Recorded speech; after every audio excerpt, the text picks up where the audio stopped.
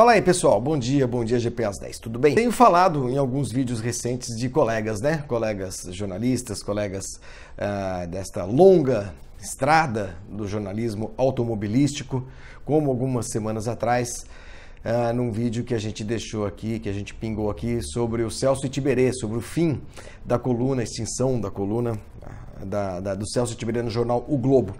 E hoje o tema do nosso GP às 10 é um outro grande mestre, um outro grande amigo, que é o Lito Cavalcante. Ontem uh, foi desligado do Sport TV, assim como o Max Wilson, né? Os dois já há pelo menos cinco ou seis anos vinham fazendo parte do trio, junto com o Sérgio Maurício, que transmitia a Fórmula 1 uh, para o Sport TV, e o Lito, claro, trabalhando também em muitos outros eventos de automobilismo, muitas outras transmissões de corridas e programas especiais também no, no canal, né? No canal a cabo que pertence às organizações Globo. E o Lito mesmo estava no Sport TV já havia 24 anos, desde 1994. O Lito está com 71 anos de idade. Ontem, no, no Paddock GP, ele foi entrevistado rapidamente pelo pessoal, pelo Vitor Martins, enfim, pelo pessoal que estava participando do programa. O Lito estava no lançamento do quarto livro do Jean Balder, nosso querido Jean Balder, e, e com uma elegância é, que não me surpreende, né? Educação, com um, um sentido de, de, de, profissionalismo acima, muito acima da média. O Lito disse que não tem mágoa nenhuma, que não tem ressentimento nenhum, muito pelo contrário.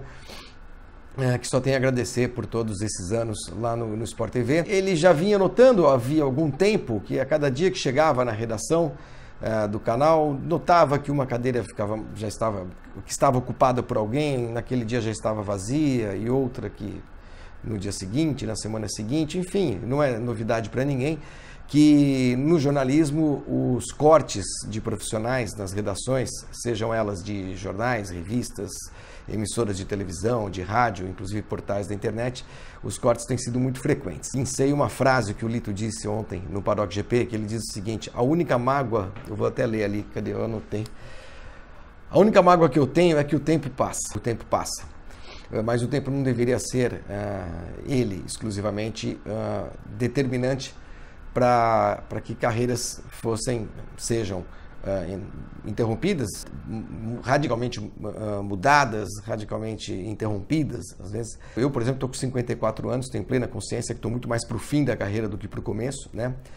Agora, eu acho muito triste abrir qualquer empresa, tá? Não vou falar da Globo, não vou falar do Sport TV, não vou falar da ESPN, não vou falar do Fox Sports, não vou falar da Folha, do Estadão, uh, da Record, não estou falando especificamente de nenhum grupo de comunicação. Mas eu acho triste abrir mão de qualidade, abrir mão de experiência, abrir mão de sabedoria, abrir mão de conhecimento, abrir mão de, de competência seja por qual razão for. E, no mais das vezes, quase sempre, as razões alegadas são corte de custos. E geralmente elas atingem o pessoal com um pouco mais idade, por quê?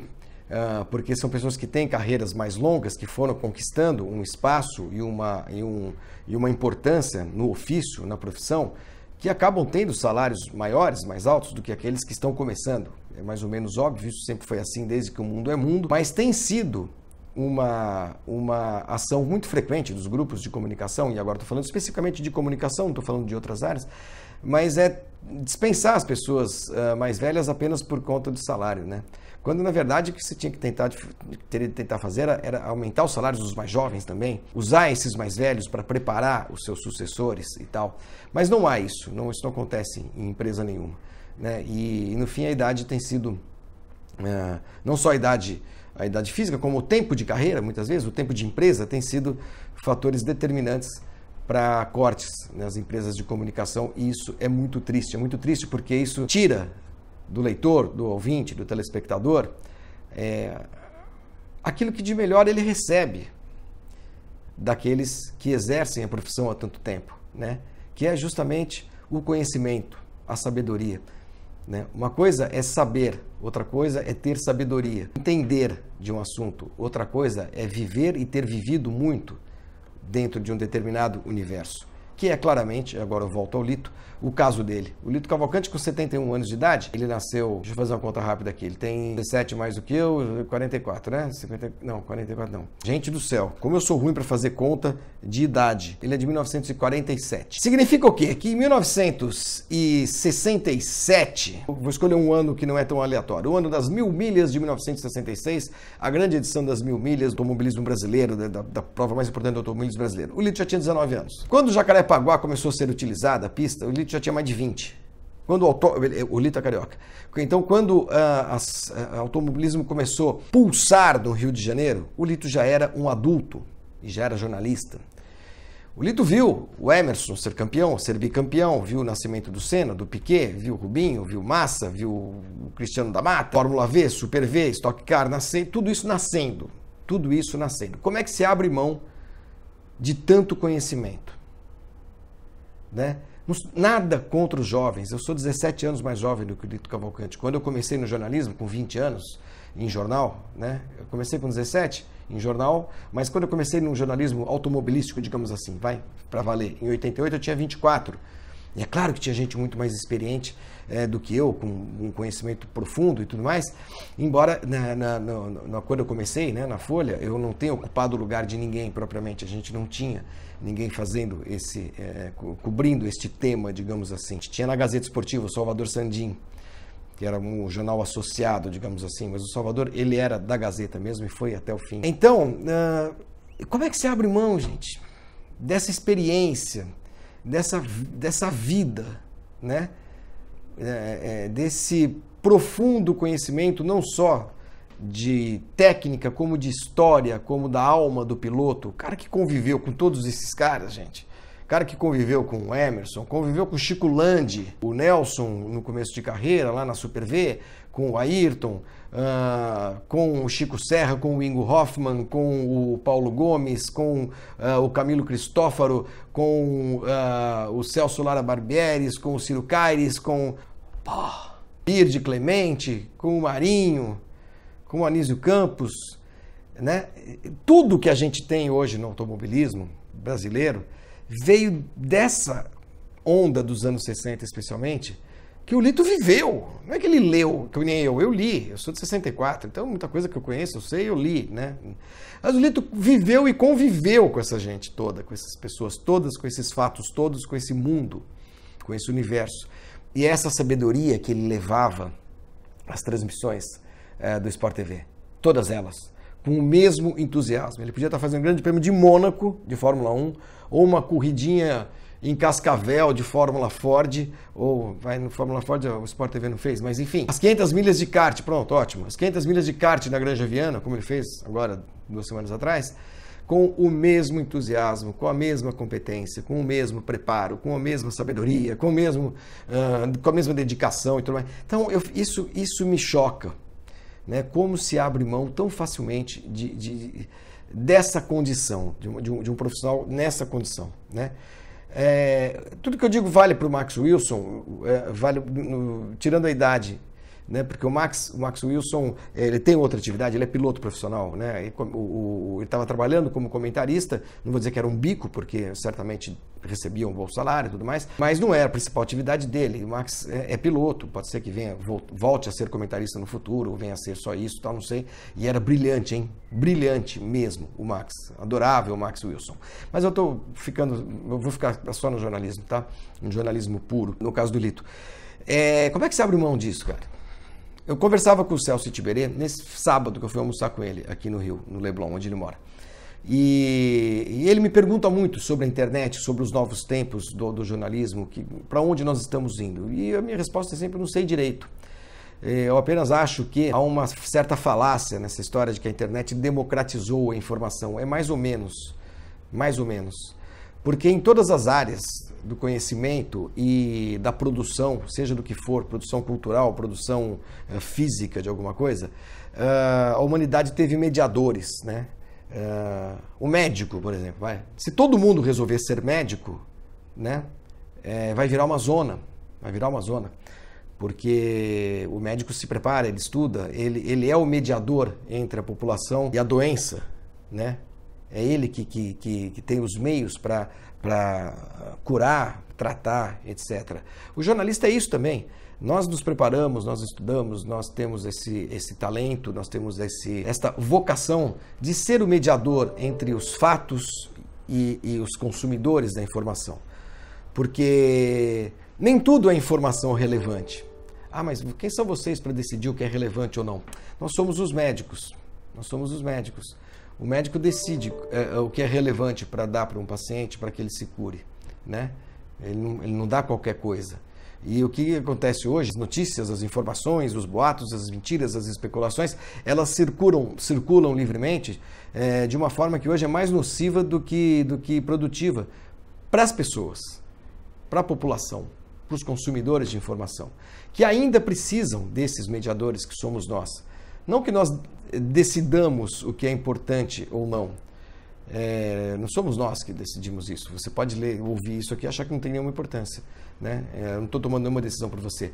Mas nós servimos, muitas vezes, historicamente, nós servimos como faróis que jogam luz sobre a imensa quantidade de acontecimentos né, é, do planeta que ocorrem, das ocorrências que estão ocorrendo a cada segundo. Não é que a gente decide, não, isso é importante, isso não é. Não, mas a gente tem noção, uh, sim, uh, do que é mais uh, útil saber, do que é relevante. Eu fico vendo os youtubers, gente. Youtubers. Ok, um barato, tem muita gente ganhando dinheiro, muito bacana tal. Outro dia eu vi uma menina, eu esqueci o nome dela, Evelyn, Priscila, Priscila Evelyn, sei lá o quê. Uma youtuber com 2, 3 milhões de, de seguidores tal. E o que, que ela diz? Ela eh, faz um vídeo, como eu estou fazendo aqui agora, e ela diz assim: Ah, eu já comprei esta camisa, olha que linda tal. Isso é relevante? Gente, não é, desculpem. Ah, mas quem é você para dizer que não é? Eu sou o filtro. Nós somos o filtro. Essa é a nossa profissão, esse é o nosso ofício. Né? Agora, se tem gente que consome, a menina dizendo que comprou uma camisa nova, Ok, ninguém precisa pegar uma metralhadora e matar nem ela, nem quem consome. Em algum momento, em algum momento, essa enxurrada de irrelevâncias vai encher o saco das pessoas e elas vão procurar de novo aqueles que sempre uh, trouxeram a elas aquilo que a gente considera um pouco mais relevante, mais importante. E o jornalista mais uh, antigo, o jornalista mais experiente é esse cara, é o filtro. Nós somos o filtro, nós fazemos essa moderação. Então, é uma falácia que o jornalismo está acabando porque hoje todo mundo é jornalista e potencial. Não. Todo mundo é capaz, é, é, de, é, tecnologicamente falando, de mostrar o que está fazendo. E não significa que o que está fazendo e o que pensa é importante. Olha, gente, olha que horror, a minha caneta acabou a tinta. O que, que eu faço, hein? Qual a importância da minha caneta acabar a tinta? E é o que hoje se faz hoje, na, na, comunicação, nos os youtubers, os, é, basicamente os instagramers, os influencers que chama, e os youtubers. É basicamente isso. Essa gente toda, essa massa, está formando uma outra massa de pessoas irrelevantes, que pensam e se, se ocupam de irrelevâncias. Enquanto a gente sempre procurou uh, mostrar caminhos, né? Uh, e isso em algum momento vai voltar a ser importante. O único problema nosso é que modelo de, os modelos de negócio do jornalismo eles mudaram muito, muito rapidamente.